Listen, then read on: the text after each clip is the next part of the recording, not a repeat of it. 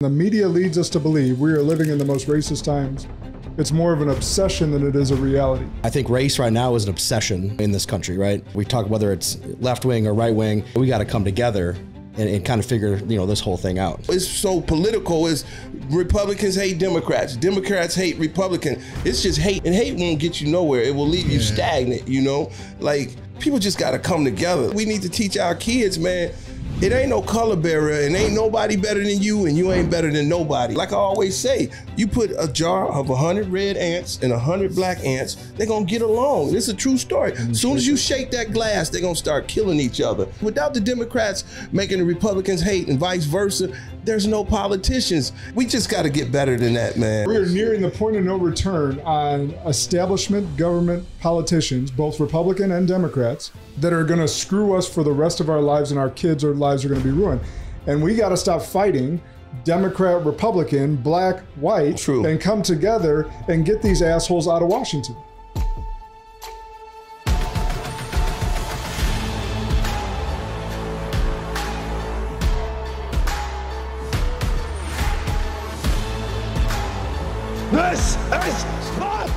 Welcome back to Spartan Leadership. I'm your host, Josh Kosnick.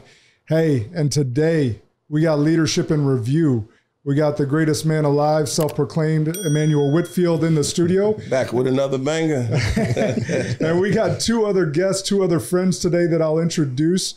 Uh, Let me got, introduce these guys. Why you want to introduce? Yeah, I take it over. We got my man Peter Guns. got my guy Corey doing big things, and I'm seriously, we really need to hear Corey out because I really I've heard his program, what he got going on. He got something serious that's going on that the nation needs, not just Madison, but the nation needs because I'm coming from experience. I've been there and I can't wait for him to tell y'all what he got in store. So let's get it. So let's get it. So Peter Johannes, nickname Peter Guns. Peter Guns, yeah. and Corey Marionneaux. Yeah. yeah, yeah nailing that Creole. There you go. you got it. You got it. And so for the names and not nicknames, so everyone is clear. Uh, today we'll go through what we're smoking quick. I gave uh, PJ over there. I gave him the Sobremesa Brulee Blue, uh, lighter smoke. To good. How you like it? Real smooth. Real smooth. Yeah, it's a smooth one. And what we got Oliva O for you, right? I got the Oliva, and I always tell you every time we do an episode, you have to name these cigars. I got that thick Southern accent. I can't pronounce it. Accent. And all them baby mamas out there, don't be trying to name your kids after these cigars. I don't want to be at the park hearing no Olivia and Palencia and all of that other stuff. So, yeah. I got an uh, Opus X from 2015 that's smoking fantastic right now. and I gave my man Corey a Tabernacle. Uh, that one's the David. Uh, so all these cigars are phenomenal. Any of you guys check it out. Not all of them are easy to find, but are worth it when you can find them. So happy hunting. Mm-hmm. All right. That being said, I want to tee up today's topic. So I invited these two friends of ours because we want to talk about race in America. Uh, I have a firm belief, this is an opinion, this is an opinion, but I don't think it's too far off, that coming election in 2024, they will do as much to divide us as possible. And that includes race relations because they've been playing this card forever.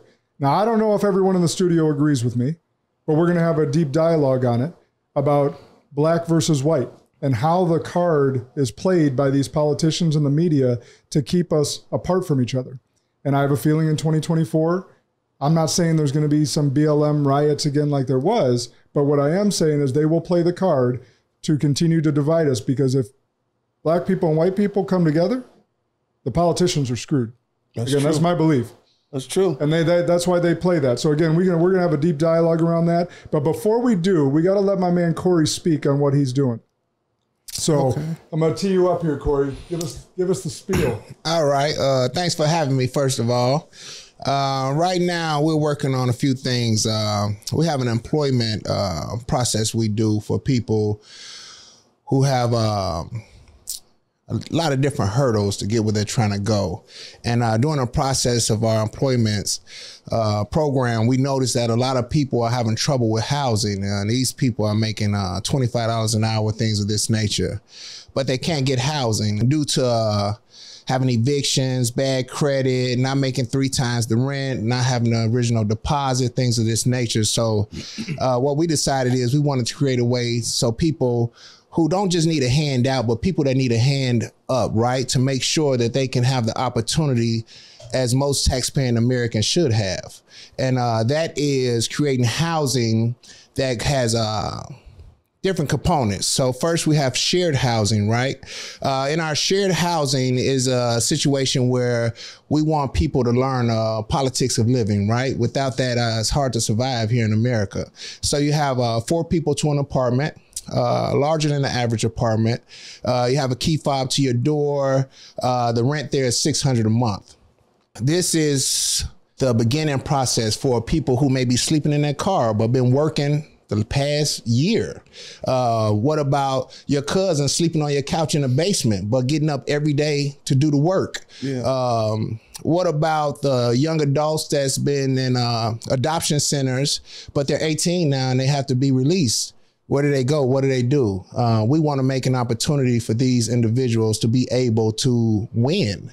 And uh, from our shared units, you go to a efficiency unit at 750 a month.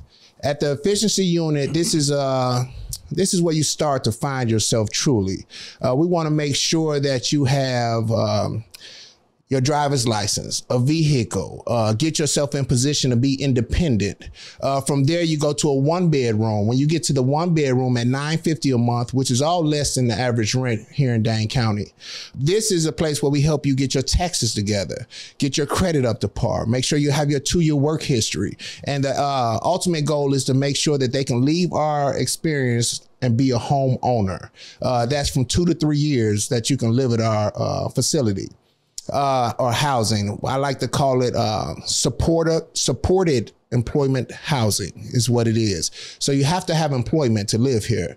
So we're not just housing people like most low income situations. Uh, low income housing is nothing but uh, pretty looking Cabrini Greens, if you ask me. Um, they're putting people who's struggling in a position and expect them to be responsible all of a sudden with no resources, no programs, no transportation. So we're doing something totally different than that. We also uh, are going to transport people to employment, medical, or the grocery store. Even if you have a vehicle, we want you to save your money so you can get ahead. You know, that's key. We're also going to have all the programs there. You know, we want to have programs so you don't go backwards. We want to have resources so you can go forward. We want to be able to offer all the things necessary to one-stop shop right here at our housing. And also, I'm an individual that come from a criminal background. You know, um, I was a person who have done eight years in prison, you know, two and a half years in a hole. Like so you I, know the struggle when you come back home. I know the struggle too. Yeah. One quick question for you: Would this be available to people? You know, like most places that you apply to rent an apartment out, they have strikes against prior drug convictions and stuff like that. Will that be held against people in your program? Or I think that would be a great gateway to let people like that get a clean slate. So, would that be available to people who have prior drug convictions? Yes, uh, we do have our criterias. However, prior drug convictions are allowed. However, people with sexual cases are not allowed. Uh, if you have a murder, you're not allowed. Right. If you had a be yeah, and if you had a battery and you have been free for over two years, it's uh for me it was a mental mind state that had to change. Once that began to change, it takes about a two year process, and once that begin to change, we'll allow them as well. But they can't say caught a battery, got two years in prison, and and then they can just come with us. No, you have to be free for two years, and then you can be housed with us. Uh, I think this is key for the success of what we're trying to do. But it's not just for people who come from incarceration; it's for everybody. We want we want the people who come from incarceration to be outnumbered by the people that's doing the work and been doing the work, so they can see, oh man, he was just in this shared house with me, and he just bought a home. Yeah. That's motivation to know that, to know upon your release that you could be a homeowner in two to three years.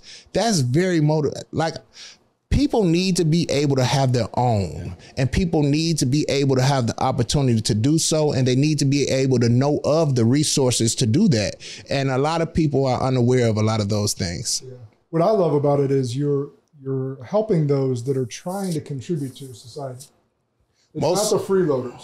yeah It's not the ones trying to just live off the government dime all the time. They're actually trying to be active in society. They're trying to contribute to our communities. Yes, um, you you. So, if uh, society turned their back on these individuals, these individuals are going to turn their back on society Yeah. and commit. Uh, criminal activity, what they're used to doing. I tell people, you know, in a lot of our low income housing, you have that diamond in the rough, right? That gets up, go to work every day, do everything they're supposed to do. However, you have the other individual lurking them out, clocking their steps, and when they go to work, they're breaking in their apartment, stealing things. You know, those are the people we want to help. The people that's the diamond in the rough, the people that's doing the work, the people that um, paying taxes already and not having this opportunity. It's, it's just not fair. And um, nobody wants it in their backyard. However, they also don't want a criminal coming through their backyard. Yeah. So Well- you want the people to break that cycle. Yeah. And you say they have to keep employment. So this ain't like come stay, it's a freeload thing. They really have I think that's real good. I think another thing would be great if they had like in-house medical screenings. I think that's big. I used to go to JP's barbershop and a lot of people don't understand how important like a diabetic screening, uh, colon screenings and stuff like that. When you reach out to people, that's early prevention, and that can help. That go a long way, man. You can actually save a life because a lot of people have lingering stuff going on. You know, us as black folks from the hood, we don't like going to the doctor. So when you have an in-house person like that, that's just something to piggyback off on. But that program, it's just sound it sounds amazing, and like I'm I'm with it. I, I really I know people right now that's sleeping in cars and stuff like that would be perfect people for that program. Well, so let me help Corey out here. He could do that. He's just going to need to raise some more money. Well, let's get that. yeah, but I'm, that, that's what I'm saying. Money is always needed. Yeah, Let's make that but, clear. But it's not like a handout. This is this is something that will save money in the in the future. You Oh, know, for sure. And I'm I think, saying, yeah, he can he can add a lot of things. Yeah. but it's a not for profit. So to tell people where they can go if they feel compelled by this story. Tell them where they can go to support the project. exactly. Uh, well, you can always support what we created at bmcdc.org. That's Black Men Coalition Dane County uh, dot org. And um, we're always looking for support. We are going to partner with a lot of other organizations. We're going to help people get their GEDs. We'll partner with MATC for that. Uh, people want to go on and get a higher education. We're going to partner with the University, the Odyssey program. Um, AODA will be uh, something we'll offer. Uh, we'll have a case manager for every individual there. Case managers usually do from five indiv- individuals to 30. Our case managers are just handle 15 individuals. And some of those individuals may not need a case manager. They just needed a hand up so they can continue to do the work and get where they're trying to go, right? Uh, this is key for anybody in those type of situations in our community. The numbers are not lying. The system is totally failing. Yeah. And um, we need to do something about it. And I believe this is a way to really make a difference. I had people say to me, well, why such a big situation? We're going to be able to house over 140 people. And um, it's a big problem. Right. That's why it's a big situation. Do you guys work with uh, probation, parole, like extended supervision? Because I know sometimes you know probation officers can dictate where a person has to stay, or you know who they can stay with. Yeah. So So, so we're forth. not against working with anybody. However, these are free individuals. These are not incarcerated individuals. So they're not on extended supervision. so if, if they are on extended supervision, you know, they have a supervision and officer to work with. And we definitely will be willing to work with the supervision and the probation officers and things like That's that. huge. It's huge. Um, but that's up to the individual Yeah. because they're not incarcerated and we're not um, making them do anything. But we do want the people that want to do the work at our housing. Tell me this: Do you have anything like that could help them out with like trades? Like, what if somebody wanted to be a truck driver, or they wanted to go to like carpentry school or plumbing school and stuff like Welding. that? Welding. I think that's huge for people trying to make that next jump to society because, like you say, man, it's rough out here. I see so many people sleeping in cars and. If they had an open bed, I like how. What's the age? What is what's the age limit? What is this? What's this age group start from? So you have to be 18 and up Okay, and um, men and women. okay. At our housing. But it's funny you said something about the uh, trades and the unions. Yeah. Uh, so right now we're partnering with MABA, Madison Area Builders Association, Sierra Concepts, Findorff. Uh, however, we just had a gala last Friday, our first gala. We had over 300 people there. It was amazing. The union trades, all of the union trades here in Dane County has joined us and supported us and wants to work with us. Uh, where we're building our housing, there's a sheet metal trade, literally not even um, 50 feet away, 100 feet away, right? Um, and they have uh, made contact with us. I've met with them several times, and this is another way that we're going to be able to introduce people into the trades. But also, we're looking to partner with the fire department next year. They want to make the fire department a little more diverse. We're going to connect with MATC and make sure that they can do that as well. Actually, uh, Jackson Yard Care, we're going to train people to not just be employees for a landscaping company, but to be uh, a landscaping company owners through our entrepreneurship program that uh, BMO is going to sponsor financially. Um, we are also looking to work with. Um, Oh, there's another one. I'm gonna. They're gonna be upsetting me. But there's another partnership we're looking to do as well because we've employed over hundred people this year, right? Um, University of Wisconsin, the uh, hospital, Okay. are looking to hire a hundred people a year from us. You know, we already partner with Meriter Hospital. You know, uh, they hire 40 people a year from us. Uh, we have a lot of contracts, IPC, Plastic Ingenuity. These, uh, we have um, an electric engine company that hires people from us. And and these are just other doors we haven't opened yet because we want to really be mindful of the people that we are putting in a position for employment from our program because we want to have a very respected program. Yeah. And we want to truly be able to focus on the people we're helping so we don't drop the ball And y'all want excellence. Y'all don't want that get in my program and go, you know, relapse on some dumb stuff. You know, you know, actions speak louder than words. I'm about to sign up for that program and get an efficiency first. And uh nah, Corey Corey on top of his game, man. He over there sounding like a young politician right And- now. He's on top of his game. And y'all got to see how beautiful this housing is too. Yeah. So if you guys go to the website, what's the website again? Uh, bmcdc.org. Man, so go check this out. The we- the the building that they're building, it's it's not like like you mentioned Cabrini Greens. Like this this is like a modern looking beautiful apartment structure. So, I want to get us back on track. Uh, I wanted Corey to tell that story because it truly could be a model for the country yeah. Yeah. if this takes off Yeah. and really help a lot of uh, low income families, people that again are trying to contribute, not trying to go into that cycle. All right, PJ. So the the story that I wanted to create here, not story, the the the atmosphere I wanted to create on this podcast was two white men, two black men. So why did I choose Peter? I chose Peter because A, he's a good dude. Appreciate and B, that. he's got more street cred than most of the black people I know. Peter, Peter, Peter, Been around for a long time. Peter been So- around. Around for a long, So tell us a short version of what you're about, your story, and then we'll get into our actual topic today. Yeah, I mean, so for me, I, I, my background is I, I come from, you know, you, you talk about the silver spoon. You know, my dad was the dean of the business school here for almost 30 years. Um, I chose a different route and it was all choices for me, right? I got into a lot of trouble. Uh, most of my friends growing up were black. So I was able to experience a lot of things that the average white person hasn't, right? I, I, I went to jail with my black friends. I was on probation for almost seven years with my black friends. So I saw a lot of the stuff that that happened. Um, and I think race right now is an obsession, you know, in this country, right? So um, you know, we talk whether it's left wing or right wing, as you kind of hit on earlier, we gotta we gotta come together and, and kind of figure you know this whole thing out. But you know, as far as is my background, like I said, I, I think I'm able to speak on certain things that that the average white person can't. Yeah. He got a ghetto pass. Be at the after set. Peter in the basement. Peter, what you doing here? No, Peter, Peter, Peter got his pass for real.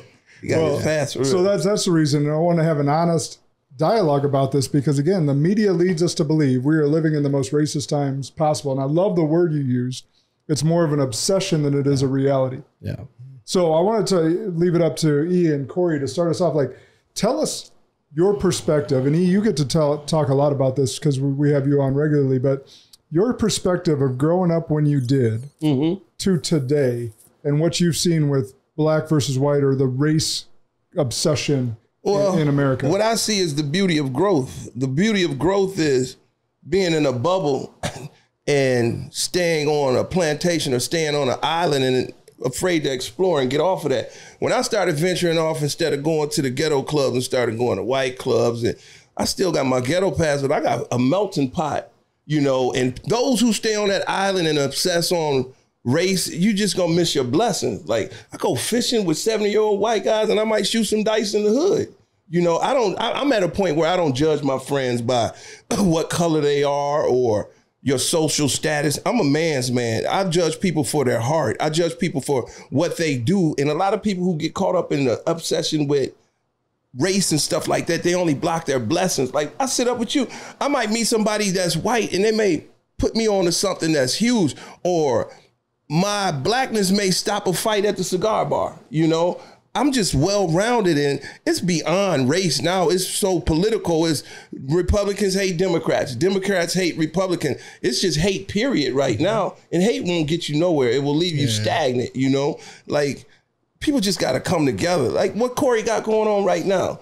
Shit. The black neighborhood ain't the white community might help him out more than the black community. I bet you there was more white people at that gala than black people would be my Yeah, guess. well, we got to come Uh, It was, together. it was- yeah, you're dope. probably right. Probably more balanced. Uh, I would say for me and my thoughts on that, uh, you're definitely correct because I'm learning that. Now. I'm in that phase now, Yeah, right? yeah. But it's a phase, right? Yeah. But let's speak about phase one and two. Yeah. Phase one and two is more of a situation where uh, the government has set the situation for most blacks to fail. That's the ugly Uh, side. Yeah, That's because we're side. put into these communities. I had someone tell me, "Hey, Corey, I'll give you eight hundred thousand, as long as you build it in a poor community." And I said, "Well, why would I want to do that with a liquor store on the corner and somebody selling drugs out the front door?" Right, uh, but but a lot of people in their mind think this is the way to go. They think that's going to help the poor community and the people going through the process, and that's not true. Martha's Vineyard. That person. Yeah, and, and- and what, and what he what he try, what I think what he's saying is they don't want that cycle to be broken. They want that success to stay in the hood to make people think this is the only place we got. He's showing them a whole new world. They may want a house out where he's building his facility, Yeah. and that's sometimes a hurdle they don't they don't want you to jump. And like he said, it does start early. The ugly side of racism is when you grow up and you see a judge now at a cigar bar and they talk to you and they're like, man, I really like you. But you may have been the same judge that didn't even give me an opportunity, just looked at my skin color and was telling me I got to go do 10 years Yeah, over a yeah. petty nonviolent crime. Now, that's the ugly side of racism. And I mean, it gets deeper than that. You know, Systematic America, failure. America can put borders on our own neighborhoods. Where I grew up at, you couldn't even walk on a sidewalk or you were trespassing, but they'll open a border up where somebody can come over here, get benefits, get their whole credit erased, child support. They get a clean slate, but we couldn't even walk on the blocks in our own neighborhood, you know? So racism is still here and it's just so many levels to hatred and racism, but I don't have time to be leaning on crutches. I'm trying to make a brighter future and, and get past that because I got hell of a friends in the hood and I got hell of a friends on the- Wall Street. You wanted to bless. Yeah. I'm one of the blessed Yeah. because there's a there's so many individuals that have our same capabilities and could do just as good as we're doing, but they don't get to make it through the cracks. Yeah. They they fail, right? Yeah. Because they don't get to see and experience what we got to experience, right? That willed roundedness you spoke of. Mm-hmm. Yeah. That's key to be able to mingle with different people. I know people right now that's super tough in the hood, but don't even feel comfortable talking to a white person. Yeah. And I'm like, Yeah. I, I can't understand that because to me, you a human too. And Yeah. nine times out of 10, you can't whoop me, you know? So I'm definitely comfortable. And Yeah. uh, there's a lot of people that can do well, but never make it to that phase. They be in life. intimidated too. A lot of people be intimidated, feel so uncomfortable in a crowd of out of their uh, natural environment. You know, I got over that hurdle a long time ago. Let me ask you to this though. Do you think that so that person that's intimidated to talk to a white person, do you think it's the people like PJ and I, like the normal community people, or is it more brainwashed in them from the media and politicians telling telling them thing. White people are bad. That's what it is. It's the media. The media is horrible. Uh, let me just say that out loud, because I don't, you know, don't nobody control my voice, and I don't. I feel like a lot of people uh, that come from where I come from has been intimidated because of whips that's still on their back they don't know it right? And the media and everything else uh, all of that together makes one uncomfortable. I mean even a black man to approach a white female is a discomfort more than so. If it was a black woman it will be a lot easier to approach. And these are things that has been set the stage has been set and it's just kind of sad. And um all those things and so many more things has to be uh, is, is hurdles that has to be jumped So it's just interesting. Go ahead. I mean, what was it for both of you that you were able to get over that hurdle? Because we know some of the same people, and I see, I look at them and say, "Man, this guy would be great in sales. This guy would be amazing in this." But like you said, they're just afraid to get over It it. could be opportunity. I'm a different dude though, man. I, I was born great. I always thought I was the greatest man alive. So it started with me young. I had friends from everywhere. I'd be in the hood and I'd be over in Shorewood Hills with my friends. So I had an easier route. I'm a people person, but a lot of my mm-hmm. people, man, they they haven't even been outside of the hood. I take people to places, they be like, "Dang, it's nice in the cigar bar," but then it'll backfire. I had a buddy in there this weekend, just dropping n bomb, ready to beat everybody up in the damn bar. And I'm looking at my other buddy like, "Why you bring this mother over here?" So everybody don't know how to act somewhere, but it goes. It's a it's a full circle. It goes both ways. I have I take you to the hood, Josh. You you'll make it, Peter. You'll make it. But I got a lot of white friends that be like, "Get me the hell up out of here!" And then you don't know what you got until you try it. Like when I went salmon fishing, what they called me at the uh, cigar bar, King Salmon. I went salmon fishing. They were like, "Hey, man, you want to go salmon fishing?" I told them I'd go. I was trying to skip out on it, right? I was like, "Man, I don't want to do this." Went up to Sheboygan. I go every year now. Best time of my life. I got white friends that never been around black people, intimidated, scared as hell. Black people don't be tripping on that, man. They was doing the electric slide a half hour later. so Peter will tell you, man, black people, a lot of white people don't know what it is and won't, don't understand why a lot of black people don't want to leave the hood. It's not about how much money you got. It starts out with wealth. Wealth is health. It starts out with love, unity. You go down to them farms down south, they don't want no big condo in New York. They be living the good life. And I tell all my rich friends at the cigar bar, I don't care if you're the CEO of Pepsi, because when we all have a health scare, we realize how little money counts. I mean, know? I'll say this: I I've been to, I mean, after sets and you know, crazy places. I've never felt threatened or unwelcome. Black people don't look at you around like black that. people. They've always been accepting. Hey, can I get you know? Can I get you a plate? Like, how, Yeah. it going? It's cool. But on the flip side, some of our black friends come to the white community. They're, I, I look at it and people looking around like, who is this? They they just don't feel welcome. But it's that's an when you- immediate threat yeah, But I'm- go yeah. ahead, Corey. That's When you guys walk in the room, like Corey, when you walk in the room, Yokes, you come in the room, you guys demand attention. Like you're the Yeah, center. because we don't centerfold. care. Ain't nobody gonna make us bow our head. See, when you Well, first of all, respect, Corey towers over most of us. So, No, it's a pride thing. It though. is, when is. you know who you are, man, you humble people. Like the people who probably didn't want to be around me or look down on me, man. I talk to big dogs and I let them know. I don't care if they be having ass kissers, people with money and stuff like that. No, you're a human to me, and they respect that. They respect a straight shooter. They respect somebody who looked them in the eye, and it's not a violent thing. It's just you my equal. I don't care how much money you got. confidence thing. I was I would say this though for me, coming from uh, Englewood, 103rd in Chicago. Um, That's a different world. I'm gonna be uh, quite clear. A white person, we have these uh, Mormons and Christians that walk around in our neighborhoods, Jehovah Witnesses, and nine times ten they're white with their white shirt and black slacks.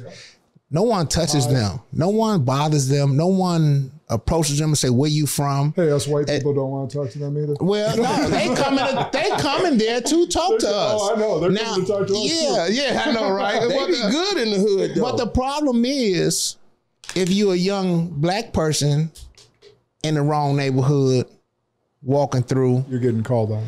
who are What's you? that you from? Who? What Yeah. you rep? Who you, know? you know, it's, it becomes an issue. And for me, I wasn't really around uh, white people when I was in Chicago. I didn't. I didn't really even see them until I went downtown or something like that, or you know, maybe in traffic. But where I was from, you didn't you didn't see that. It was a total separation. And then I started coming to Wisconsin when I was like 18. And I seen white people everywhere. It was like a culture shock. I haven't seen a white person on drugs, and I was like, "Whoa, what? White people do 18 drugs too. at a young age, you know?" And I'm like, "Wow, this is really different," you know. And um, but for me, like like like yo said, uh, my mom and my dad had balls, you know. So I was born with a nice set, so I'm very comfortable no matter who I'm around, you know. Um, it doesn't matter. When I was incarcerated, I ran uh, the prison. State of Wisconsin sent us to Tennessee. I ran a prison for every gang. I don't care what gang you was, even the Aryan Nations, and I ran it by monopolizing the marijuana. So if people didn't move the way I needed them to move, it was an issue, you know. And that was just me being me. It wasn't a plan or any of that. I just was in survival mode, and that's the way I went about That's how it. you survived in the prison system. Yeah, and I never questioned why God sent me through this. Why am I going through this? I just made the best of it, you know. And um, a lot of people don't do that, and it's, Yeah. it's it's pretty sad. I got friends right now. I say, hey, the best project managers are drug dealers. I don't care what nobody say. You have to know when the crookedness coming. You got to deal with the snakes. You got to deal with the roaches. You got to deal with everything Same under the setup. sun It's and same be setup. able to be really good at still doing the work. It's just business. It's the wholesale to the retail. And like I always tell people, man, class break glass ceilings, man. When you classy, no matter how much a person want to hurt you, you gonna be attracted to something that's a beautiful soul. I got locked up. They pulled me out of Huber up here. They sent me to Lafayette County. I was the only black dude in the whole prison in there with skinheads. I never forget the first day this dude jumped up, nigga rigged the TV. I said, what? But I was so classy. And this is a true story. After the little eight, nine months I did in there, when I was leaving, all them skinheads in Monroe was like, hey man, let me get your number, man. They clapped for me. Cause I kept it real. I said, man, we ain't gonna be dropping N-bombs in here. we gonna get along. We playing Jeopardy. We playing uh, Wheel of Fortune. Half of them couldn't read, so I won all the candy up there. They respected me after that, man. They respected me, man. Respect go a long way. And like you said, we need to teach our kids, man. It ain't no color barrier, and ain't nobody better than you, and you ain't better than nobody. And I think the world We're will the be only- better. We're the only country that does it. Yeah. We're the only country that says black American, white American. You go to Italy, you go to Germany, they just call you American. Hmm. We're the only people that do it to each other. So it's it's just absolutely, and it's driven again by media and educators and politicians that say black Americans this, white Americans this, white America, black But America. They, just keep that. drilling it They- into they- our head. But I mean, they need that. Like I always say, you put a jar of hundred red ants and hundred black ants, they're gonna get along. This is a true story. As soon as you shake that glass, they're gonna start killing each other. So it's no politicians without the Democrats making the Republicans hate and vice versa. There's no politicians, and um, we just got to get better than that, man. We, got to get better than that. we that. seem to get a new name every five years now. Yeah. I mean, I can't keep up with it. you know, and um, I say it's no different than the iPhone charger port. They change it because it makes them more money. Mm-hmm. You know, and they do the same thing. You know, they, they change our names. Now we I think BIPOC or something like that, or whatever they calling us. And um, I'd rather what be a, that? Blood, no, I'd be a Tupac. color, something like that. I don't know. I don't even want to know what it means because if somebody call me that, we gonna have a problem. Don't call me nothing but Corey How about we just call each other Americans?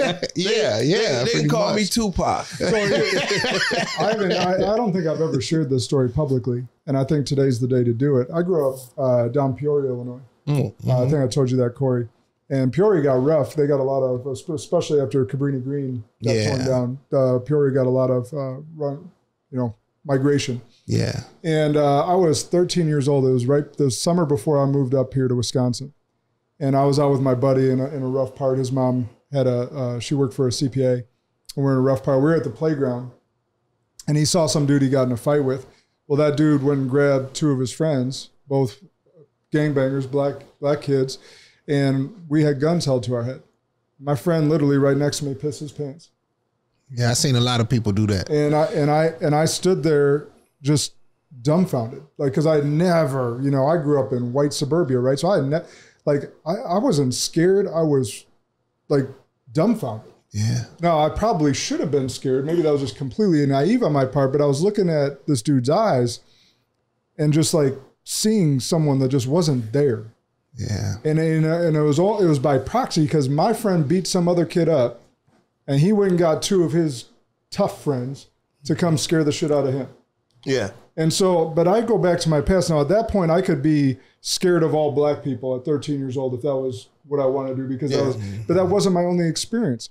My first friend at growing up was a kid is, who was biracial. His his mom was white, his dad was black. His name was also Josh. I go back that. So then I have multiple friends. My first friend that died when I was 16, Nebu, who is a, his family's Nigerian immigrants, died in a car wreck right outside my house. I thought he got shot by police. I'm just bullshit. no, I'm just bullshit, no, man. no. And uh, uh, man, I, and it's interesting. Of all the people I've lost, I can still remember their laughs. You know what though. Josh? I think we put a lot on people's plate for to think that people can understand the lack of education. It's like having a book and you can't read it. A lot of people may think a white person may be racist or a black person may be racist because they don't understand. They have never like just to make a little a long story short. I got a buddy, he's a principal, right? I think like chess. I play chess. I'm a lawyer within my own mind. He was being brought up on charges at the school because he told another black dude, "You blacker than me, man." The black dude went and told on him. It's a true story. I don't want to say his name. He worked at Sennett though. So they want to have a big meeting because he told somebody else, "Hey man, you blacker than me." That's like you saying I'm blacker than you. You know what I'm saying? Now where I come from, black is beautiful, but see, in the white people's mind, it was a disrespectful thing. So you know what I told uh, my buddy to do? he was he was he was like ready to get a lawyer. I said, you don't need a lawyer.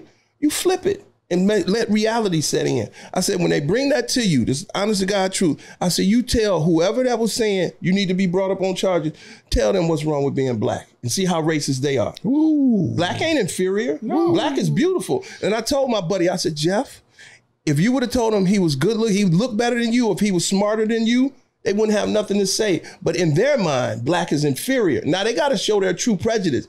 He came and bought me a cigar. He said, Manuel, boy, you a bad motherfucker. You know, that is my man. He a principal. But you know, you have to think like that. You got to play chess. I said, flip that on them. Make them tell you what's wrong with being black. And they didn't have nothing to say. They they because they didn't know no better. Then in reality hit, they was like, wow, that is me Because being most biased. educators are Democrats, and most Democrats don't even see the racism in their own hearts True. True. because they see you guys as needing a helping hand from them, the white Democrat. No, we don't need nothing. I don't need no crutches. You know what I'm saying? I'm motivated by Corey's movement.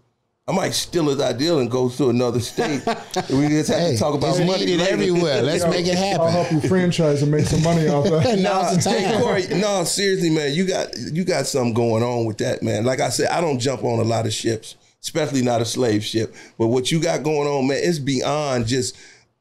It's dope. It's, It's- it's, really good for people, man. It's something that's needed, man. I know how it is coming home out the joint or not knowing where you're gonna sleep that next night, man. It's such a boost, man. You know how good it. See, a lot of people who've never had to sleep in the car or had to open the oven up for some heat, they hmm. don't know what a warm bed feel like. Yeah. And then on top of that, you got somebody giving you the right direction instead of saying, come on, man, I'll hook you up with a pack. Somebody teaching you how to weld, and you see a welder making 50 $60 an hour. And now you see, I mean, the game is changing right now. Now Yes. the barbers and stuff are the ballers, the dope dealers, they the lames now. I see all my barbershop friends, they got houses, BMWs, Benzes. You know, so I look at Spencer and them, I go to their parties, I'm like, man, I was in the wrong profession. And they not You know? temporary. Yeah, yeah. Huh? We Right. was temporary. I was temporary for a long, long period Yeah. of my life. Can't you nobody know? come snatch you up, and or can't nobody take yours. You, who gonna take your black card? Yeah. You know. Yeah. You know. I- so I, I want to speak about a, uh situation I had with uh, my, our employment service, right? So Mm-hmm. we also do transportation for a year. We transport people to and from work if they need it. Uh, so I had an individual. We have these 14 passenger vans. They're wrapped, you know, look really nice. Uh, first vehicles I ever seen with a black man anything on it, right? Uh, we haven't been pulled over yet. I gotta I gotta throw that out there. Thank you. Um, but I had an individual who, after work, we would drop everybody off. So he was like one of the second people we would drop off, and uh, we were dropping them off at a park, Penn Park to be exact. And um, I pulled him to the side. I say, everybody's like, man, he private. He don't want us to know where he live. And I'm like, you know, I pulled him to the side. I said, if you don't want people to know you live, I could drop you off last. right. He said, no. He said, y'all dropping me off right where I'm going. He said, I'm sleeping in a shelter at Penn Park. Oh, wow. I said, outside? He said, yeah. I said, how you getting up every day and, and getting ready for work? And He said, "Man, I do what I gotta do. I go to the gas station, or I, you know, I use my cousin house every now and then if he ain't if he being nice to me, or I make it happen." And all I could think in my head is this guy's making twenty five dollars an hour and sleeping in the park outdoor shelter. They don't even have an indoor outdoor shelter, but he's doing the work, paying taxes, and can't get a roof over his head. And that's really what uh, energized me to focus on this housing situation. Yeah, that might know? have motivated you to like, I need to step on this and get this done, man. Yeah. But look, to and see look at somebody- this. Look at this. A former prison inmate that's gotten himself right is solving a solution that our government that we pay taxes Couldn't to solve. can't solve. Ooh, Can't that's solve strong. for decades. I, I, I, you know what I tell people? I don't have an education in anything particular. I don't have a degree in anything at all. What I do have is a purity. I have a, a natural drive. You know, I'm up at 4:30 in the morning. I go to sleep at 12 or 1 in the morning. You know, I sleep about four hours a day. Um, but what's needed is um, I feel like I've been sent to prison. All the things I went through, losing my parents at an early age, was all God's plan to prepare me for what I'm doing now. And um, I don't, I Pain don't. was your preparation. Yeah, yeah, it So life happens for us, not to us. We, you know, one of my mentors says that often, and so I repeat it. Life happened for you, not to you, and now you're best equipped to help the previous version of yourself. Yeah, yeah, yeah. Because you can reach Ooh, people this- that Peter, myself, we can't reach.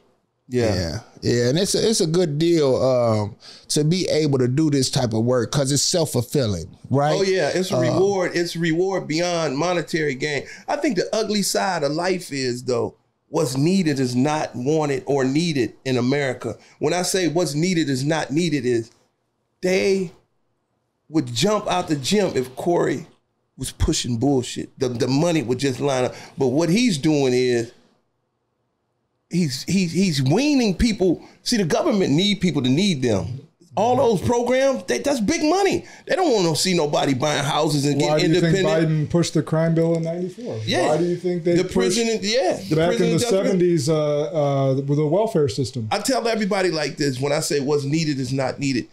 You think pharmaceutical companies want to come up with a pill that cures somebody? Hell no. They want you on that medicine forever. They need that The job same thing- security. You think these people that he gonna clean up and get off the street? That's one last per. That's one less person they can lock up. That's one less person they gonna need a welfare uh, uh, society for and independence. And then when you start leaning into being independent and buying property on your own, that's a no no. They'll give you everything but some property. You know what I'm saying? Think about So- this. When I was incarcerated in Black River Falls, it was a minimum. I caught a 360 in the hole from there. Um, Tell them what a 360 in the hole. They have no clue what that is. oh, okay. Uh, exactly that's that is. that's uh, so they got me for extortion and gambling and uh, running the gang. And what it is is they put you in a cell for uh, about eight months out of that year, Isolated. Isolated. Nobody. you get to use a shower maybe once or twice a week if you're lucky. Uh, the recreation don't happen. They say it do, but it don't happen. And uh, then once the eight months is up, they put you in another unit that they call the, uh, you know, the unit before they put you in population, which is still you lock down most of the day, right? But just feel way better than the hole. It You feel way like better, right? but but the, the part is when I was in Black River Falls, I witnessed legalized slavery. We made a dollar an hour. If you made two dollars, I was the crew leader, whatever I did. So we I learned how to be a lumberjack. When I tell you I was cutting down trees that were so tall, I couldn't even tell you how tall they were. I mean, over 150, like big trees. We cutting them down. We chopping them up. We running a splitter. We chopping with the mule. We stacking wood so high. We climbing up and we got a line. We tossing it for a dollar an hour. and we was watching them in right in. shape. You was in I was in good shape, Leroy right in our Bunyan. face. they taking the wood. They wrapping about about eight pieces of splitted wood, and they're selling it for five dollars right in our face, and we getting paid a dollar. You make eight dollars a day for an eight oh, eight And hour you know the workday. crazy part about all that, Josh? When you get up to two dollars, you think you rich in the joint. Man. We started in the fed joint at thirty five cent. I'm cleaning the whole hospital. But boy, you make two dollars. Them dudes be a commissary. commissary. Man. Can't wait on that little check, man. hear It'll me? make you appreciate life, man. No, 'cause- that's not the crazy part. Yeah. The crazy part is most people don't know that prisons, federal prisons, aren't owned by the federal government. And therefore, all the mm. taxpayer dollar that's going towards locking people up, especially the nonviolent offenders, like all those dollars are going to private corporations and making other people rich. Yeah. yeah, yeah. Yeah. I was in a That's the crazy part to me that most people is. don't know that. Yeah. I was in a CCA prison in Mason, Tennessee. Uh, a, a, a federal institution, but I was a state inmate. And they had Samoans in there with us, which is out of all the race of people, I've never seen anyone stick together like they do. No matter what gang you was on the streets, once you're incarcerated, you under one and One it's a one chief, one assistant chief that plays the politics. And um when I say they stick together, they move them from federal prison to federal prison because they destroy them. Once they try to uh, put other people with them, they all get life or better. None of them are ever getting out. And this is how I was able to monopolize the prison I was at because the first day there, I told the warden, he said, Well, you guys got to go to bed at nine o'clock. I told him he better go get some help, and it's not happening, right? Uh, so we had intercons in our room that went to the central booth, and uh, a lady came across, and I was like, I was like, I could talk to you. She was like, Yeah, my head. I'm like, oh, it's on. And she's like, uh, she's like, I think they coming to take you to the hole. I'm like, I'm already in the hole. She's like, you ain't scared? I'm like, of what? I said, I'll tell you what I am gonna do. I'm gonna make these soups and they gonna wait because I'm about 300 pounds with a six pack. I'm ready to go to war. So they waited. I made them wait about 40 minutes. You know, they waited. And when they put me in a hole, they put me in there for like two, three days. And they let me out and they put me in a unit with the Samoans. And when I got in there, I seen a brother in there. I said, Oh, you from Wisconsin? He said, No, man, I, I caught a case in Hawaii. And Oh, I got a, uh, I killed two guys try to come at me and I got a double life sentence. Yo, But- hold on. Do you think they was trying to put you in there with Oh, the they was trying to get me whacked. You whacked? No, they off? wanted me dead. See, that But- make you stronger sometimes. Yeah, but what happened was, I'm gonna tell you what happened first. As soon as I got in the unit, they like, you gotta take off your shoes. I'm like, man, I'm not taking nothing off, you know, and I- I'm ready because I'm just who I am, right? I'm ready to do it. Let's just come on. And uh, they like, no, that ain't the. This is a religious Tradition. thing. This is what we, you know. And I said, I realized, and before I took my shoes off, because I started thinking about taking them off, because I'm I'm respectful when it comes to certain things. I studied the Quran, I studied the You Can Live Forever in Paradise, Jehovah Witness book, the Bible, the Catholic. I just studied it all because I like to know how people think. Talk to those white people that came to Cabrini. Yeah, yeah, I, ta- I did. I talked to some Mormons right now. I told them why every picture y'all got, y'all got Jesus white, and y'all saying he from the middle of it. That needs to be fixed. But anyway, I um, they put me in that unit, but the chief had already heard about what happened with me. And that's how I got the advantage. The chief told me who was crooked, who would do this, who wouldn't do that, da da da da da da. And once they realized they wasn't gonna do nothing to me, the prison let me out of that. Yeah, right away. Learning too much game. And It me out, but it was too late. Yeah. I had the advantage over the Wisconsin inmates because they didn't know nothing. Yeah. So I hurried up and whoop, before you know it, that same uh, individual that talked to me on the intercom transferred over to the central booth in the hole. So I was talking to them every day, all day. Knowledge, right? is, knowledge And- is powerful. Yes. That's why they didn't want slaves to read. That's exactly what you did. You didn't know that book of what this dude was going to give you all that game for free.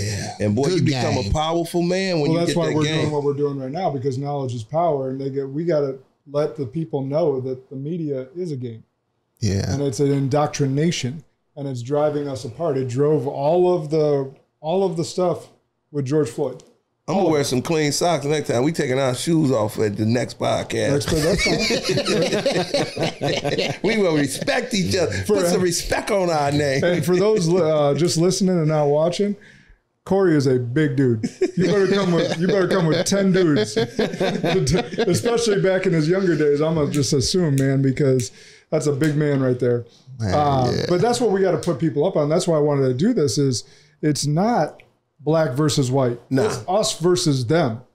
Yeah. It's the American people versus the establishment that are controlling the media, that are controlling the narratives, and are trying to drive a wedge in between us Americans. Forget skin color.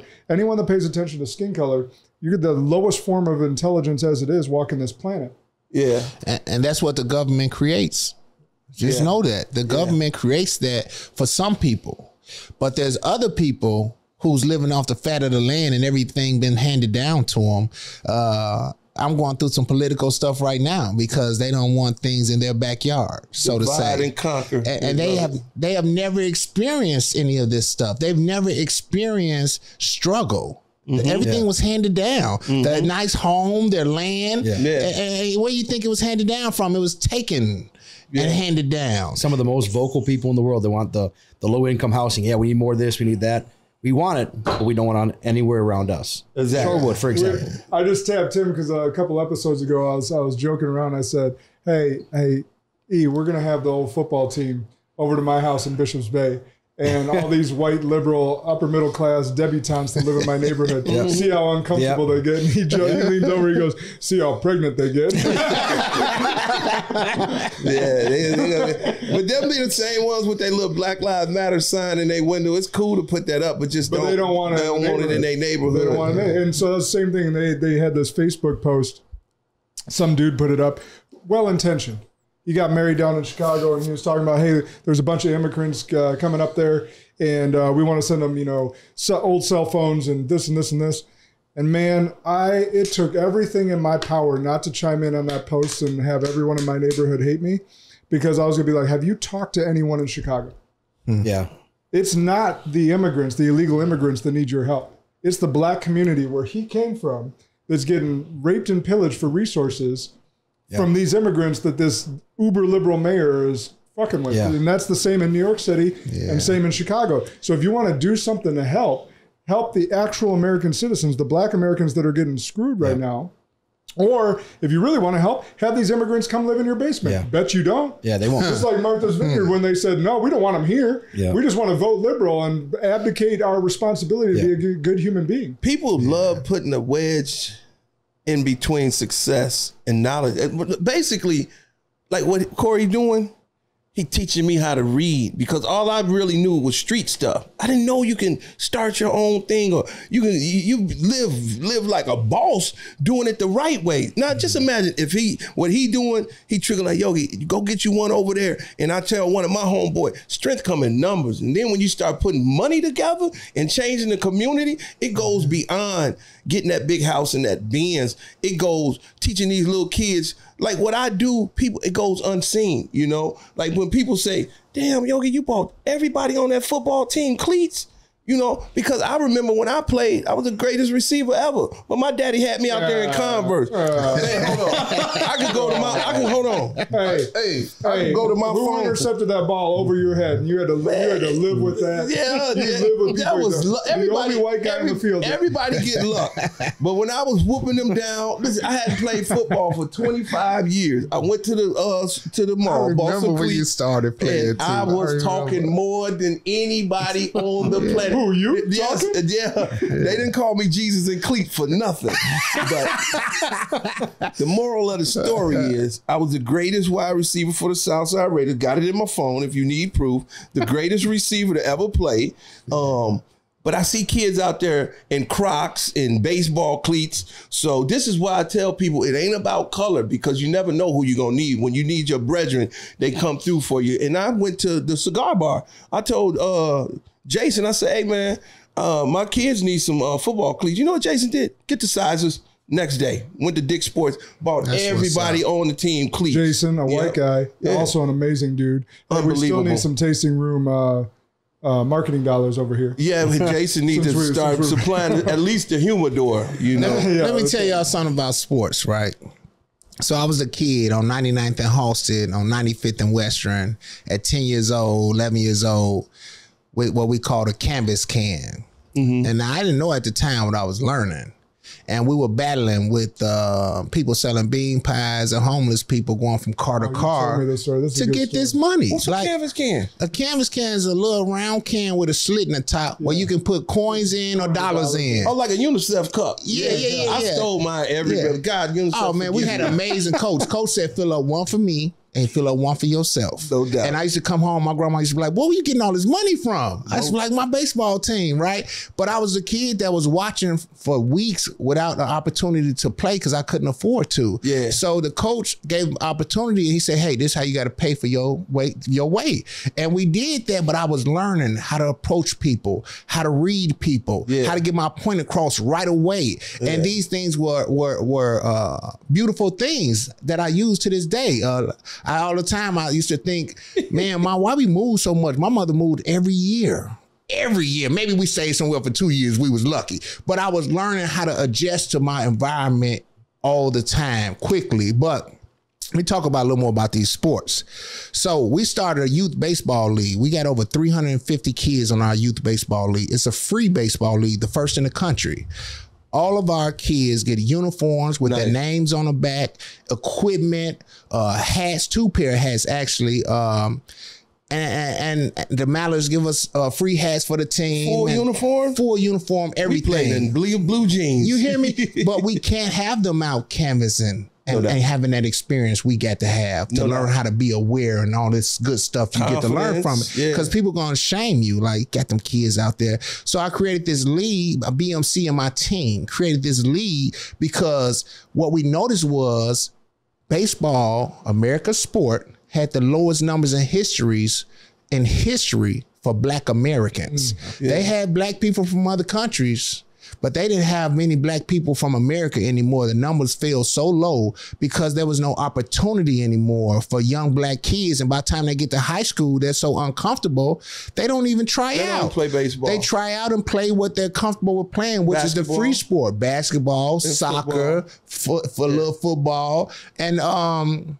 It's amazing that so many kids showed up. He was like, "Well, you need to charge the parents something." I'm like, "I'm like, no, that ain't what we want to do." But that come from selling out though, Corey. To piggyback on that, that'd be like you starting your thing, and it's, this what that this what happens when you get successful and you start to make a change. Big corporations come in. Corey, we'll give you uh, sixty million and buy you out. That's a lot of money, but look what you lose out on that. When I say what happened to baseball, let's just go back. The people we celebrate are really the biggest sellouts. And I don't want to get into the, all of Martin Luther King, but just think about this. We celebrate Jackie Robinson Day every year.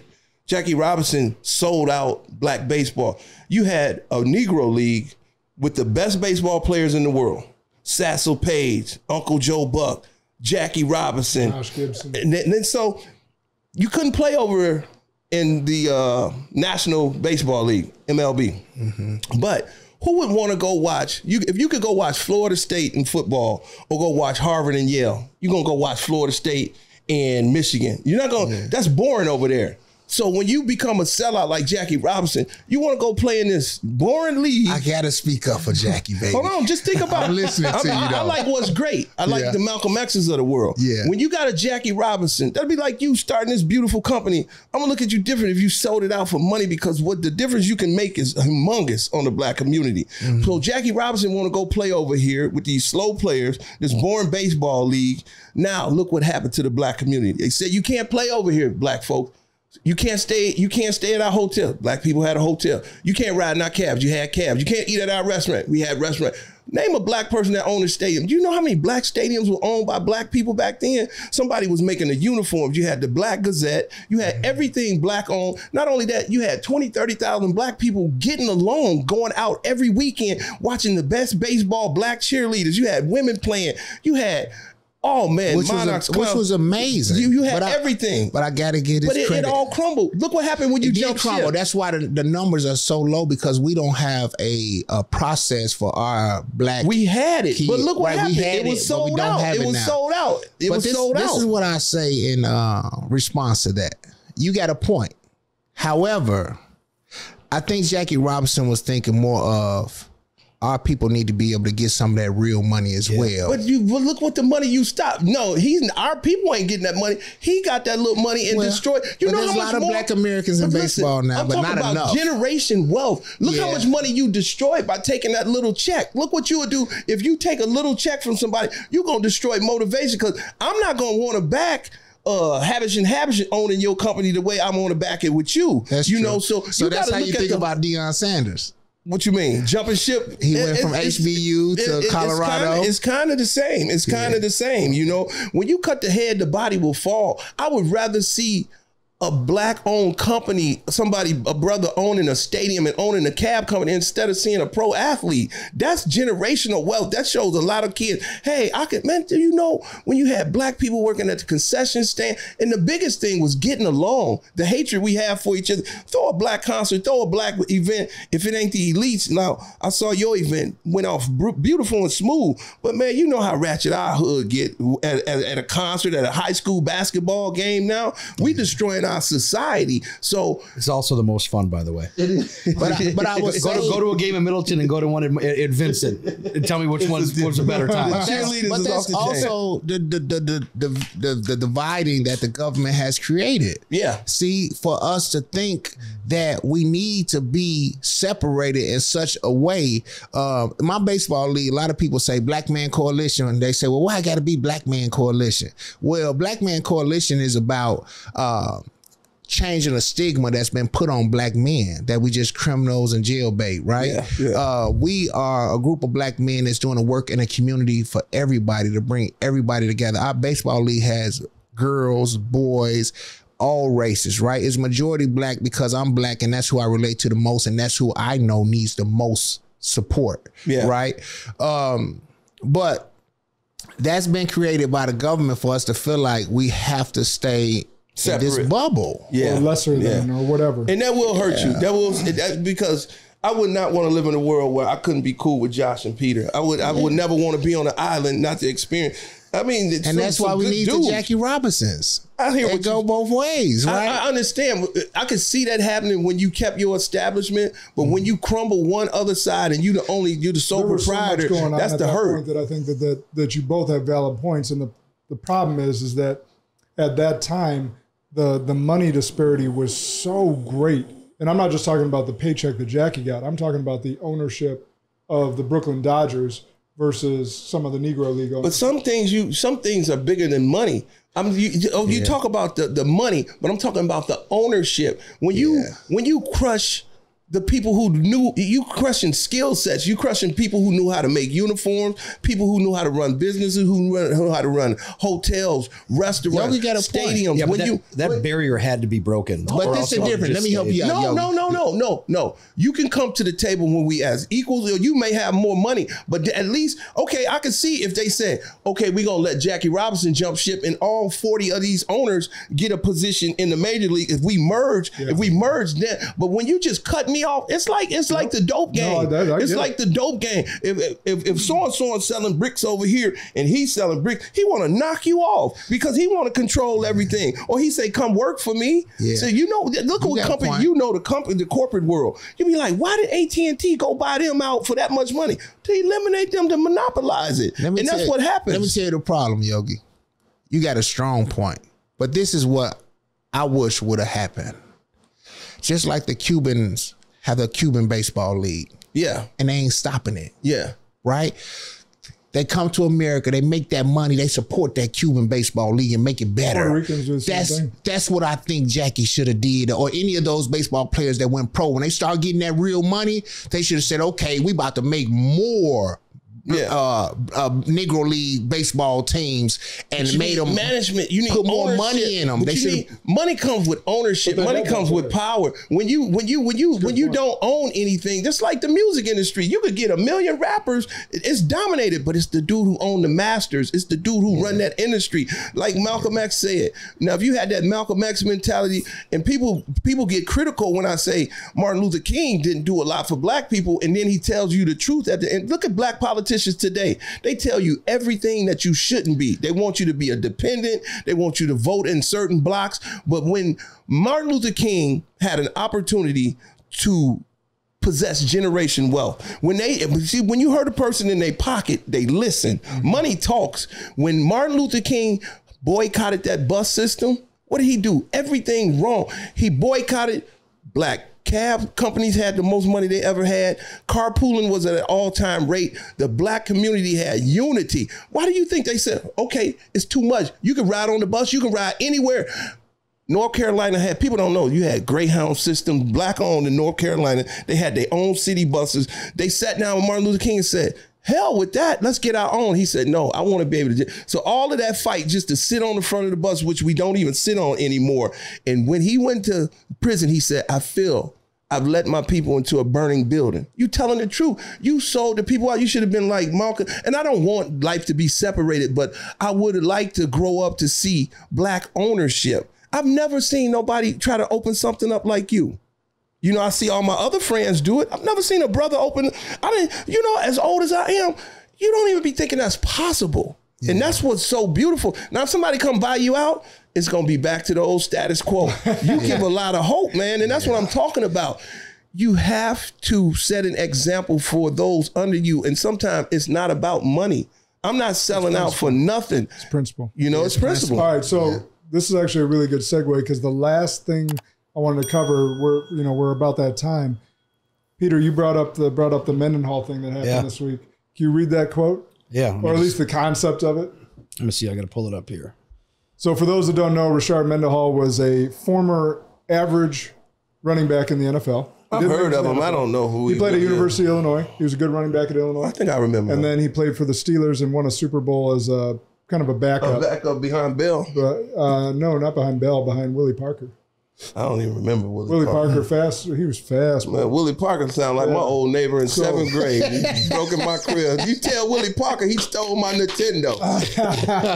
Goddamn Willie Parker. I got this. So yeah, Rashard Mendenhall, uh, he's made some some Controversial. yeah some some statements that have been you know a little uh, a little out there. But he said uh, y- yesterday he said, "I'm sick of the average white guys commenting on football. You're not even good at football. Can we please replace the Pro Bowl with an all black versus all white bowl?" So these cats can stop trying to teach me who's good at football. I'm better than your goat. So you're said? Yeah, Yeah, yeah. This is, what's his last name? Mental Hall of Malik Shabazz Kabusha. Black Power. Yeah. so it's just interesting. Uh, well, what's your take, PJ? my honest assessment is is I think the comment is is is ludicrous and I think it's it's pointless. But also like I think the word racism has been cheapened in this in this country significantly. If a white guy had tweeted this, He'd be done. bro, he'd, be, he'd lose his job. Human resources would be he'd be done. But no, just nothing is said on that, right? And so I think there's a huge double standard on that. But I mean, the fact that that he's able to make a comment like that, not banned from Twitter, not do anything like that. I mean, So there is free speech, right? Sure. But there are consequences to saying stupid shit. At least there should be. And you're right, there's a double standard. Had you or I said that, although we don't have the platform or status Right. that he has, right. but we'd be done. We'd be done permanently. I, Like, I, I, we'd be that's true. excommunicated from everything. That's and he's, true. He's still got his platform. Now he is getting lit up by both black and white people because Yeah. it is a racist statement. Yeah. It's a racist statement. I Right? believe- You're asking for segregation Yeah, again. but free speech trumps all of that. I don't, I don't right. care what he So, said. You, but- people need to grow some thick skin, and, and I mean, all you got to do is say he talking about white dudes can't play football. Just look at Tom Brady rings. I'll just be like scoreboard. Yeah, people just- need thick skin, man. when he They said the thick when he said the goat, I said, "What what goat? Like you're better than Brady, who has six rings And played 20 years. and played 20 years. Yeah. You're better than what goat? Like Christian McCaffrey's a far better running back than you ever were. True. So just, I So, mean, like, people need to stop getting their panties in a bunch when ignorant people say ignorant stuff all the time, you know. But I'm one. I'm a big a proponent of free speech. I, I I don't care what you say. I don't want nobody stepping on free speech. And when you get on that pom pom squad of cancel culture and all of that other stuff, when that come back around and hurt you, I just look at all the people that cheered for uh people changing laws for Trump. You know, Puff Daddy and all them, yay! And then that law come back and snatch them. Yep. They changed the statute of limitation just to sue this man. And then now Cassie seen that window, it was about to close within two weeks, and now Puff Daddy career is over with. You know, cancel culture is real, man. And Look at the little culture- actor. well, cancel culture is perpetrated much like the silent majority was Yeah. perpetrated, much like political correctness was perpetrated on all of us to keep us to keep us in line, Yeah. to shut us up, to keep us divided. Yeah. It's a it's a weapon. Yeah. And All well, of the- those in the- things are weapons. Sound like y'all went to a GD meeting. oh my god! No, the media. I You think better stay definitely in line. the media picks and, and chooses who they want to who, who they want to call a racist. Like in every in every media thing I see, Trump's the biggest racist in the world. Right. Some of the stuff Biden has said and done. and done, like when he It said you can't even go. He said you can't even go to a 7-Eleven these days unless you have a slight Indian accent. Or when he said, I don't want my kids going to school with black goes, kids, it's a racial jungle. If you don't vote for me, you ain't black. Yeah. It's beyond that. It's it's be you know people get caught up to words. I'm pretty sure Corey will tell you where we come from. Words ain't nothing but words. It's your actions speak louder than words. Mm. And people can say whatever they want to say about Trump. I got homies that got out of jail and be screaming "F Donald Trump" when we know Joe Biden wrote the '94 crime bill. Uh, uh, Trump passed the First Step Act. A lot of brothers came home on A that. lot of brothers. And, A lot of my and then people be blocking their own blessings, but I can't blame them. They don't know any better. But man, when it comes to the media, some people just refuse to love the truth. You know, my sister, I told my sister, Obama, and there's nothing wrong with being gay, but live up to it. Obama writing love letters talking about he fantasized about screwing men every day. That's just what he said. And a lot of people don't know that was suppressed. People don't know about Joe Biden's daughter's diary talking about my daddy takes showers with me, and I don't know if he's molesting me. They went and arrested them people at that halfway house and took that. Just how they went, ran and uh, told um what's his name, Giuliani, you better give up. You you better not make a copy of that in laptop. You know, you messing with them uh, alphabet boys, man. You getting into a strong world. Like a lot of people, a lot of people don't. Did you, did you hear about Obama writing love letters? Yeah, yeah, yeah. You know, but you, it's hard to find that on the on on um. Yeah, I didn't even hear about that. Yeah, It's it's, it's levels to that, man. yeah. We, we we we sit here, we love Obama, man. I look at Donald Trump ain't starting no new wars, and then you got Obama, a black man with daughters. How dare you look and, and people go celebrate this man who brought back slavery in Libya? Little black girls getting their shirts ripped off because of Obama destroying the, the next step for Africa. I go deep and it's real. You can go right in your phone. Hillary Clinton's own emails talking about we can't let them uh, start their own bank and currency. We got to go take Gaddafi's gold. And they tell you Gaddafi was a tyrant. Do you know Gaddafi had the most women in his cabinet? He gave out uh, free healthcare, free education. He had the most advanced water system in the Middle East. And he was trying to start black currency with African countries and the European countries. And Hillary Clinton and Obama destroyed that. You know, so it's just levels to stuff, man. People can make a person a hero or they can make you a zero with words. And like I always say, man, people get in your head. That's why I read and I investigate everything. You know what I'm saying? Somebody can come out of here right now and be like, oh, Corey Nett was talking about you bad, uh, talking about your podcast was horrible. And you don't know, he might have came out and said, man, this was the greatest thing ever. So you can't move, get moved by emotions and words. You better read that book or you're going to make a major mistake. And it's not just reading it; it's also thinking. Yeah. It's being able to have some critical thought because we could read all this stuff and we have no we so most of us don't know how long and how deep the propaganda has gone. Like we were talking before the podcast about the mafia. Most people don't know that prohibition wasn't about banning alcohol for because it was bad for America. They It's wanted to the get maf- cut. because the Uh, mafia was running it and the government wanted their cut. Yeah. Just Most like marijuana. don't know that. A lot of brothers went to jail for marijuana. Now all of a sudden you can buy it over the counter because they getting their cut. They coming for cryptocurrency. What you you you can make moves. That's why they hate Cash App and stuff like that. They can't control that money. With money comes power. Power comes control. Just like when they tried to boycott in Canada with the truck driver, what they do? Electronic banking cut all of their stuff off. What they got in line. I'll take the jab. I'll do whatever you say. Cut my money off. I might get to dance and a shimmy outside if you telling me I can't get to my bank account. It, it'll break you down, man. You don't know how bad you need money, man. Well, that's what we don't know that we're at the precipice of. They want total control. And that's why they divide us in black and white and why full circle on this topic. Told you about them damn big ass word. Precipice sound like a goddamn new shoe that Jordan came out with. What the hell is precipice? Sorry, I'll drop it. I'll drop it to, to fifth grade level. We, fifth grade we are nearing, we are nearing the uh, point of no return. There you go. That damn precipice. We are, we are nearing the point of no return on establishment government politicians, both Republican and Democrats, that are going to screw us for the rest of our lives and our kids' or lives are going to be ruined. And we got to stop fighting Democrat, Republican, black, white, True. and come together and get these assholes out of Washington. Yeah. That's that's really what it comes down to. They've been screwing us forever, man. And the funny part about it, man, when you start learning the levels to life, man, you be thinking people enemies and they best friends. It's just they're pulling their sheep and wolves and sheep clothing. I learned this a long time ago, man. I will never forget.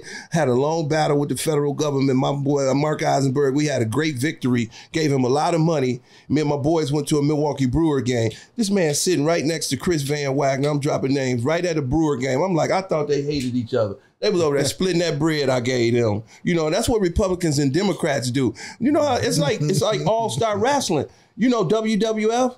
You were thinking the Rock can't stand Stan Bam Gundy. They count that money up, They're beating each other down fakely, and they count the money up at the end That of the day. Real name. Well, whatever. Bam Bam Bigelow. Bam There Bam. you go. There you go. And Bam Bam Bigelow was Well, my name would be Provissimus, whatever that damn nerd you just dropped. I like Superfly Jimmy Snuka. He was my guy. He fly up that top bunk. An Ultimate Warrior. Corey, who was your who was your wrestler? Uh, the dog. Junkyard Jay Junkyard Wild. Dog, man. You know I'm coming. That was a- Yeah, who was yours? Man, I was I was a huge Warrior fan. I liked Ric Flair. Ric Oh, yeah, I love is Ric my Flair. Ric. Flair was gangster. Oh, but wasn't nobody messing with the claw. That was the Von Erich. What was it? He used to Von Erich Brothers. What was their name? The, Hacksaw Brothers. no, they were. Um, The oh, Claw. I can't remember their the name. Claw used to be slobbing on They was about four brothers, man. They was they was they was good. Yeah, Yeah, yeah. The they was pretty good. No, one of four horses. I remember the heart. They were way before them. Yeah, yeah. All right, man. We got to wrap this up. That so was good. we could wrap for hours, obviously, on this topic. Bottom line is making sure that again, we, you know, E and I talk about this all the time. It's unity. Don't let the media, don't let the politicians, don't let Hollywood drive us apart. Yeah. we agree on 95% of things.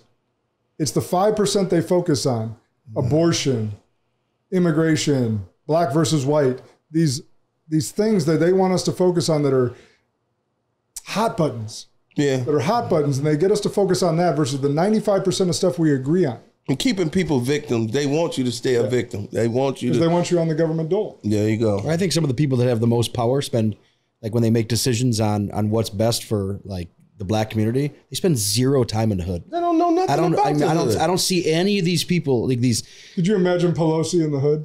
I, I- would like to see people never stepped e- foot. experience. I want to see people with experience. Corey, I'd love to see you, you know, hold some positions and be able to make calls and and, and do some things because experience is is the most important thing for me. I think coming from the black community, the it's like a parent. The worst part about it all, it's your own kind that's keeping you on that crutch. You know, it's the black, it's it's the black caucus who want to keep victims. You know, they want to make little black girls look forward to Section 8. They want to tell black men they signed up for that 94 crime bill. You know, they don't stand for nothing. It was Donald Trump who pushed the First Step Act. You know, Hakeem Jeffries and all of these clowns, they they they want us on that plantation. They don't want like I say, Corey thing, man. People should be lining up. You, you talking about that uh, uh, canvas can? He need a canvas briefcase. That's, that's what, that's what they need to be donating Yeah, to, man. yeah. I'm really. I mean, think about I'm that. really impressed, man. I'm proud of you I, on I that. will Real say talk. with our baseball, our first supporters was people who were saying stuff like, why only for black kids? And I almost responded in a very ignorant way. And my partner Asha said, no, babe, give them the facts. There you go. And I gave them the facts, and they began to be my biggest supporters Yeah. every year Yeah. to this day. Um, they supported us and, and and made it happen. The people did, not these corporations, not these companies. But now, once it's created, we have amazing organizations like Dick Sporting Goods. They say, "Hey, Corey." Every city you want to put this baseball league in, we got 30 grand for you. Yeah. I don't care if it's 10 cities in one year, we're gonna support it with 30 grand. because You know, they they, they, they see success and they jump on that bandwagon. Yeah. which is uh, you might as well But, but it's a out. good bandwagon. Yeah, yeah. Like if it's a good bandwagon to jump on, I'm all for it. If Yeah. it's something that's needed, that's necessary, that's making a difference, everybody should jump on it. When it's a bad bandwagon, I tell these organizations, I say, hey, you guys want to reach? They say, Corey, how do you reach the people? So I said, I don't even market employment anymore. We get over 10 people in our office every week looking for employment. And they wonder why I said, start hiring some people for your organization that don't get a degree. Now, what you that need come to from do- the lived experience. You know, some people with some purity who actually can relate to the individuals you're trying to reach. They also need that in the government. The government needs some people that don't get the degrees they feel they should have. You need some people That who can lawyers. understand. Yeah. And that's so crazy. People fall back on that. Well, what's his what's his degree? What kind of degree? No, he? he got a, a life degree. No, but what you need to do of is Knocks that he spread. Exactly. spread your Exactly. knowledge and start empowering other brothers into places you can't reach. You know what I'm saying? Mm-hmm. Like I know people up in Green Bay and stuff. Sit down, talk to me, be like, "Yo, go get them boys right." Be an offshoot of my company and get the name out there in Green Bay? Cause I, you know, the little CC, you know, CC coming home, he might need a job. good for CC. You know, CC good, good coming brother. home. And when I talk to him, I'm like, man, Corey doing his, he real But but his, cuz. he bandwidth, he's got to get this one built first. He's got to get some good leaders on his team, and then he can go and expand. Oh man, So I'm it's impressed. All, it's all bandwidth, oh, right? Oh, yeah. So I'm I come, I come from building businesses, so I know what Corey's going through. Right Man, now. listen, So, listen. You see what as you see how it trickles down in that domino effect. I just really heard his story of what he got going on. Now the people I rub shows with, you know, I'm gonna be at that cigar bar. Oh, you you okay? You know what? You should invest in this, and I'm gonna break it down. I'm gonna get more knowledge from him so I can explain to them what he got going on. Just how I got them shoes and stuff. It started to take. It's got to take it to another level now. You know, open that checkbook up. Half of that's tax write off to y'all anyway. You know, Yeah. and it make y'all company look good. We in a we in a we in an era of politically correct. Y'all want to be politically correct, Pepsi? Let's get it. Yeah. You know, do something for the community. So this was good though, man. Yeah, this might this might be the most important conversation y'all have ever heard. So thanks for tuning in. Uh, make sure you share it far and wide because this is good conversation. Not easy. It's not easy to talk about this stuff. But when you put good people in a room that again aren't going to agree on everything, but gr- agree on the important things, we can actually come to some solution. We can actually have some great dialogue, and you realize again world goes to hell in a handbasket, we're not worrying about who's black, who's white, who's Christian, who's atheist, who's Republican, who's Democrat. We go help because we're Americans. That's All I what see is do. green. And Corey, you gonna come back when you break ground on your new facility? You gonna come back and join us? Yeah, um, I'm gonna join y'all anytime you call for me. I think I think something Don't like show up a this is. I'm a busy guy, you know. Hey, uh, but I will say, uh, I'm going to show you guys something after this that I was looking to do, and it's amazing that you did this because uh, we were looking to create a podcast called Black and White. And it's to get the uh, from both sides of the fence to see the ideas and the thought process and uh, what people think about certain things. And this has this is that. This what we This do. is that right here. This so I'm, I'm. I'm I'm with this whenever you call me. Uh, yeah. I No think doubt. this is amazing. I think the people need to be able to hear uh, people who actually can speak their mind with no fear. Yes. You know, um, And that's you know so it's so funny you say that. Because I asked a couple other people, and we had another co-host that was scared of speaking his mind. They be dropping like You know, flies. And so it's interesting you say that is they're worried about what's going to be put into the universe Mm. and potentially held against them in the future.